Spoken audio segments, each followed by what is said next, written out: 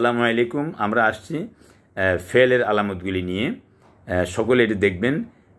যারা মাদ্রাসার ছাত্রছাত্রী এরা তো দেখবেনই। প্লাস যারা ইসলামিক ভাবে জীবনযাপন করার জন্য যারা আপনি আরবি শিখতে চান তাদের জন্য খুব জরুরি এই জিনিসগুলো হবে।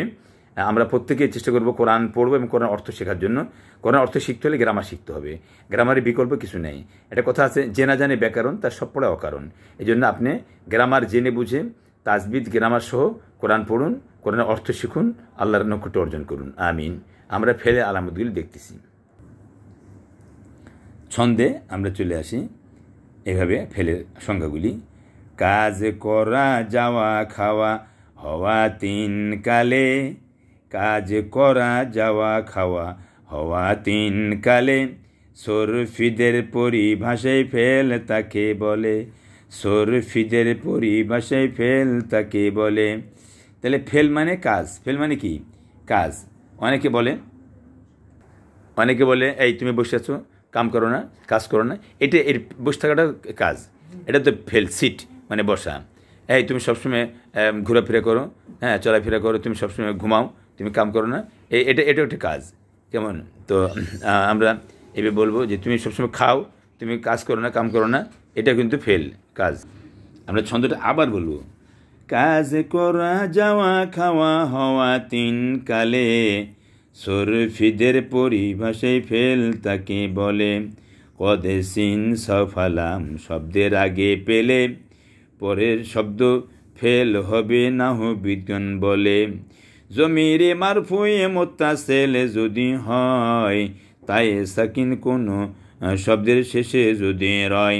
আমর আর নাহির সিগা তুমি যদি পাও বিনা দ্বিধায় বিনা বাধাই ফেল বলে যাও আলামতে ফেল ইহা রাখি অসরণ জীবন জীবন চলার পথে তোমার লাগবে আমরণ বাইরে আমরা উদাহরণ দেখি শব্দের প্রথমে কদ হ্যাঁ অথবা সিন অথবা সাউফা যেমন আমরা দেখতে পাচ্ছি কদ দরাবা সে প্রহার করেছে। মানে এইমাত্র প্রহার করেছে। হ্যাঁ প্রেজেন্ট পারফেক্ট টেন্স এইমাত্র হ্যাঁ মাজি করিব, কদ দরাবা আচ্ছা সায়াদ রিবু হ্যাঁ অচিরেই সে প্রহার করিবে। নিকটবর্তী হবে। হ্যাঁ অচিরেই, তাড়াতাড়ি। আচ্ছা তাহলে সাউফা ইয়া রিবু অচিরেই সে প্রহার করিবে দুর্গতি।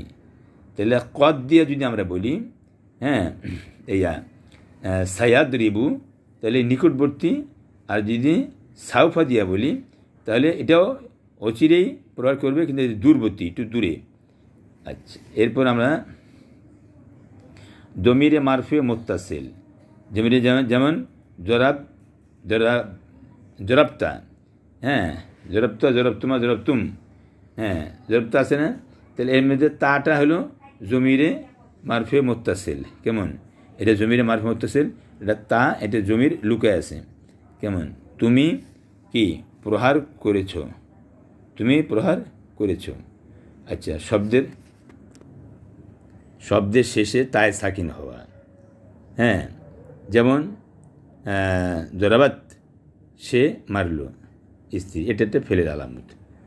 আচ্ছা আমর হওয়া আদেশ সূচক ইম্পারেটিভ সেন্টেন্স হওয়া আদেশ সূচক যেমন ইদরেবি হ্যাঁ হ্যাঁ প্রহার করো মানে তুমি প্রহার করো। আচ্ছা নাহের শেখা যদি হয় হ্যাঁ তাহলেও নিষেধাজ্ঞা সূচক হ্যাঁ হওয়া। যেমন, লা তদ্রিব তাকে মেরো না, তুমি তাকে প্রহার করিও না। এইভাবে আমরা ফেলের আলামত, ভার্ব যতগুলি আছে, ভার্বের আলামত বা ফেলের আলামত আমরা শিখতে পারি, ইনশাআল্লাহ। আরও ফেলের আলামত আছে। তো আমরা সংক্ষিপ্তভাবে এখানে আলোচনা করলাম। তো ফেল মানে ক্রিয়া। হ্যাঁ কাজ যে কোনো কাজকে ফেল বলা হয়।